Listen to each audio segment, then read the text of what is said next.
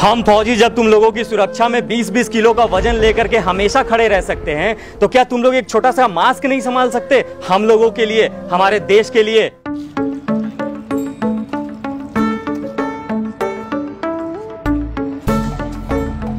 भैया दो सिगरेट दीजिएगा। दो रजनीगंधा ले लेना तुलसी के साथ में। दो रजनीगंधा तुलसी भी दे दीजिए।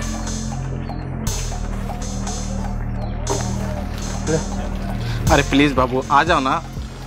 अरे पाँच मिनट के लिए कुछ नहीं होगा। अरे कोरोना तो ना खाने के लिए कुछ नहीं है। अरे देखो ना पॉलिटिक्स वाला लोग नेता लोग कैसे घूम रहा है?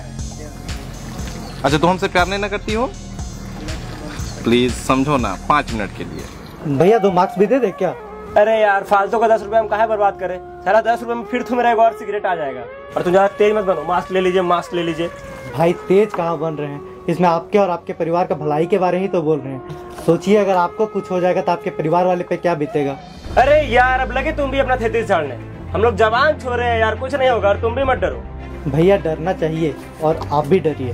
हमको डरने बोलता है? डरते तो हम अपने बाप से भी नहीं। बाप भी सोचते होंगे किसको पैदा कर लिए अभी साले क्या बोला क्या बोला? पहचानता नहीं है मेरे को। बोले ना नहीं चाहिए मास्क बाबू प्लीज़ समझो ना प्लीज़ प्लीज़ समझो ना तुम क्यों नहीं समझ? रहे बहुत मन है मिलने का बाबू प्लीज़ मास्क आप फ्री में ले लिए लेके लगा लीजिए।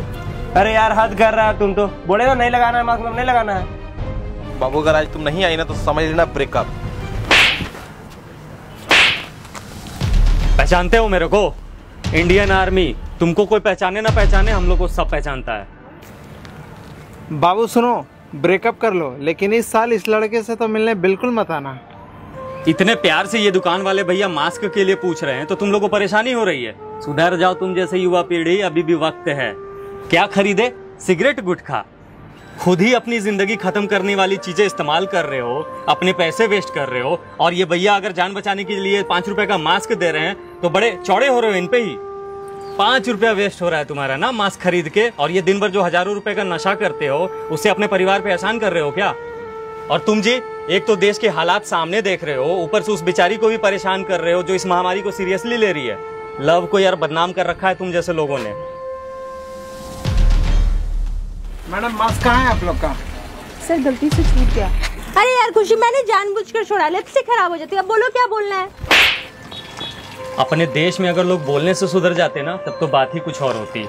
लिपस्टिक खराब हो जाएगी ना तो फिर भी चलेगा। लेकिन अगर ज़िंदगी खराब हो गई ना तो दोबारा लिपस्टिक लगाने के लायक नहीं रहोगी। अब शायद बात समझ में आ गई होगी कि मास्क लगाना क्यों ज़रूरी है। चलो आओ तुम लोग को कुछ दिखाता हूँ।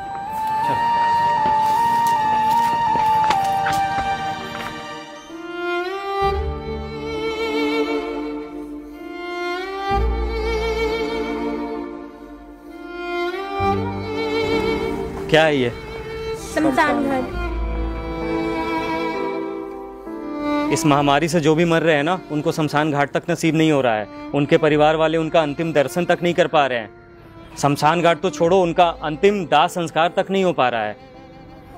उनके बॉडियों को तुम्हें भी पता होगा कि जैसे तैसे करके डिस्पोज कर दिया जा रहा है हटा दिया जा रहा है। इतना सब जानने के बाद भी तुम लोग लापरवाही कैसे कर सकते हो यार? अरे यार, अभी तो तुम लोगों को हर किसी को अवेयर करना चाहिए था, लेकिन तुम लोग ही लापरवाही कर रहे हो। और ऊपर से जो तुम्हें अच्छी सलाह भी दे रहा है, सिखा रहा है मास्क लगाइए, उसके साथ भी मिसबिहेव कर रहे हो। वाह। अपना नहीं तो कम से कम अपने परिवार वालों का तो सोचो, जिन्होंने पता नहीं कितनी मुश्किलें झेल करके तुम लोगों को बड़ा किया है। पता भी है तुम लोगों को कि अगर तुम्हारे साथ कुछ होता है उल्टा पुल्टा तो तुम्हारे परिवार वालों पे क्या बीतेगी? किसी को खोने का गम शायद तुम लोग कभी नहीं समझ सकते। इसलिए एक बार जाकर के उनसे मिलाओ, जिन्होंने इस महामारी के चलते कोई अपना खोया है। शर्म आ रही है मुझे तुम लोगों को देखकर कि हम, तुम जैसे लोगों के लिए ही बॉर्डर पे खड़े होते हैं, जिन्हें अपने देश, अपने परिवार और देशवासियों से कोई मतलब ही नहीं है। तो सलाह फिर हम लोग क्यों खाते हैं गोली तुम लोगों के लिए? हम फौजी, जब तुम लोगों की सुरक्षा में 20-20 किलो का वज़न लेकर के हमेशा खड़े रह सकते हैं तो क्या तुम लोग एक छोटा सा मास्क नहीं संभाल सकते? हम लोगों के लिए, हमारे देश के लिए।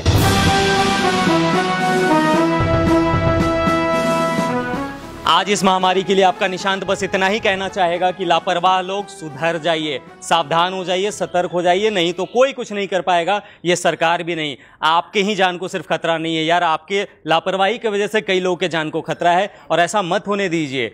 और अगर आपको सच में खुद से और इस देश से प्यार है ना तो इस वीडियो को आग की तरह फैला दीजिएगा, क्योंकि हर हिंदुस्तानी तक, हर किसी तक यह वीडियो पहुँचना बहुत ही ज़रूरी है। जय हिंद।